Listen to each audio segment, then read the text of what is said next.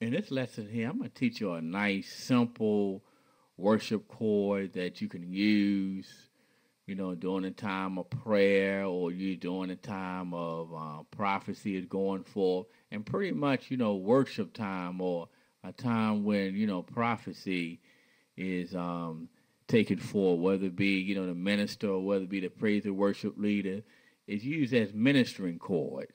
And it's just simple. I'm in the key of D flat, and I'm staying on the one or the D flat, and I'm playing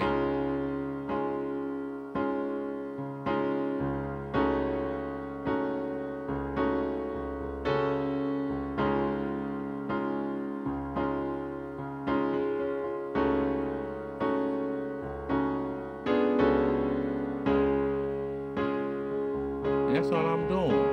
Two chords. And I'm just playing some chords in between.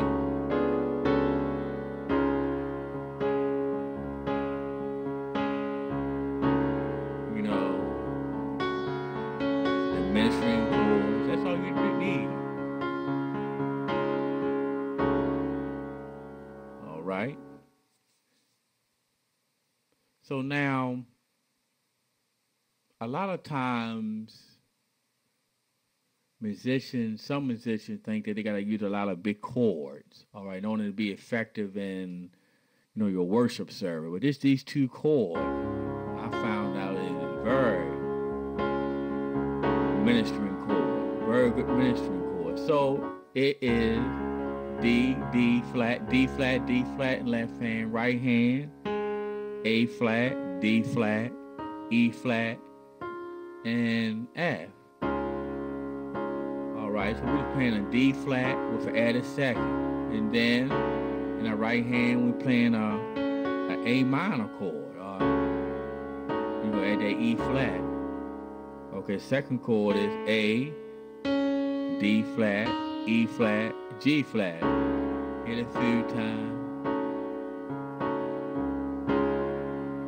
Then you use your inversion.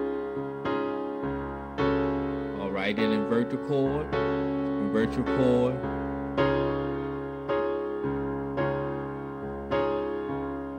So everything in red is in the right hand.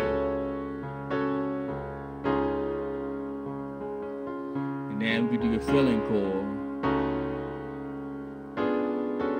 So when you're here, left hand D flat, D flat, still gonna be on the D flat, A, D flat, E flat, G flat. You're gonna play a diminished, B diminished, B, D, F, A flat, D flat, G flat, A. So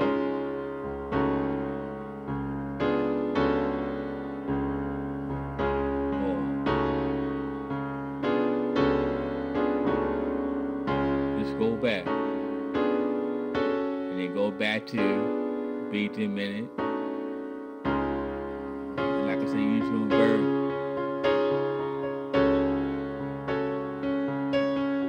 Taking this, roll your chords, E flat, G flat, A, B flat. Go.